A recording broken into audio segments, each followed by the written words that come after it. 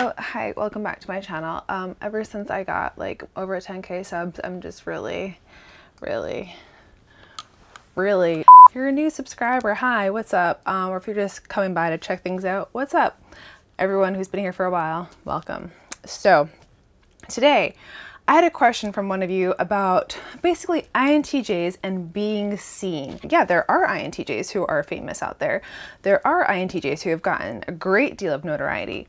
But what is the motivator? So that's what we're going to talk about today in this video. The most authentic representation of who we are is the NI version of us. And um, we are happy with that being seen and happy with that direction being seen, but it's not how people typically relate to the term being seen or being known, right? Because we attach that to the identity of the person, which is traditionally that DI function, that TI or that FI.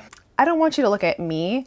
I want you to look at the thing. I want you to pay attention to the construct because that is the most important thing that's happening right now. But also, simultaneously, that is also me in this weird, abstract kind of way. Listen, I want your attention. I just don't want your attention on me specifically. So, what are the very stereotypical downsides of us as INTJs being in the spotlight? Number one, it brings attention to our FI traditionally, right? And you let's not bring that up in public. Please just leave my FI somewhere else. I mean, it's important, but like it's not relevant right now.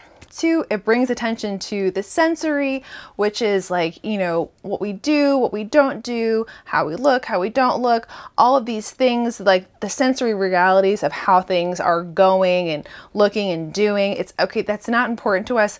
We, we don't want to talk about that either. and three, so just kind of a combination of the two, it makes people focus on the SF in general, the two bottom functions that we have, and generally are just not very relevant to us and our current mindset and what's important, all through our own biased perspective, of course, which are NI and TE.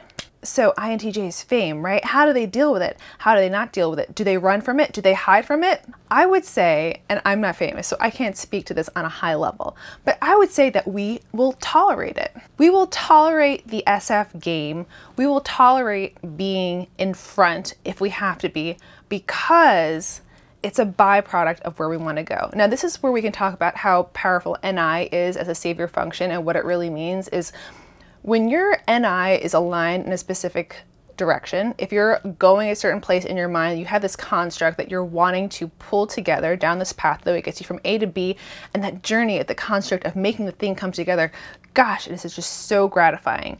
And so if fame or notoriety or being seen is a byproduct of getting there, so what?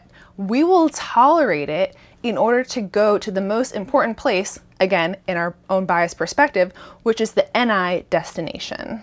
But that being said, the SF is just not our motivation for doing things. We're not doing things for the sake of SF unless it's in that kind of like very strange um, growth oriented. That is my direction that I want to go. I want to go in the area of growth, so I will go down the road of SF way. I mean, I think about myself, like, I didn't want to go and do YouTube for the SF allocation. I didn't want to come up here and go through years of being terribly awkward and not uploading any videos and um, just not moving forward with my YouTube at all because it was just terrible. But then it kind of came into the process of the fact that I had an NI destination I wanted to get to. I had a certain goal at the end of the tunnel in YouTube and being in the SF world fit into that goal.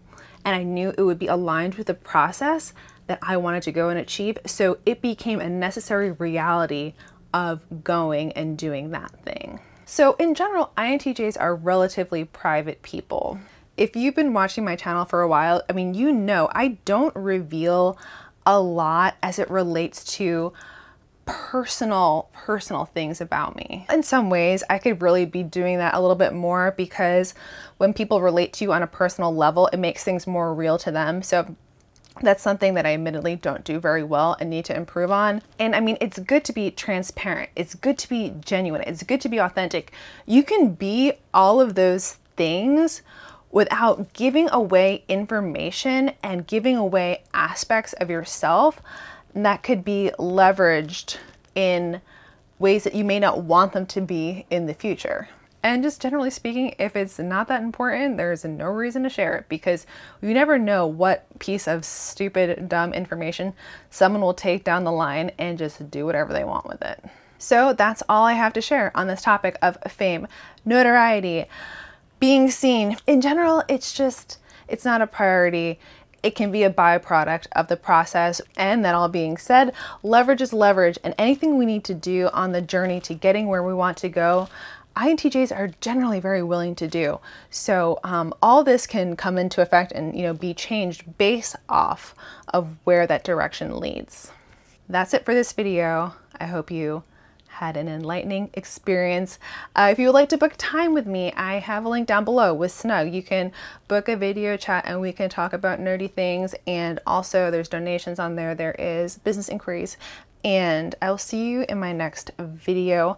I'll meet you down in the comments. Um, what is your perspective on being seen in the world? Are you willing to do it? Are you willing to take the weight of fame? And fortune and very dirty sunglasses. So I'll see you in my next video.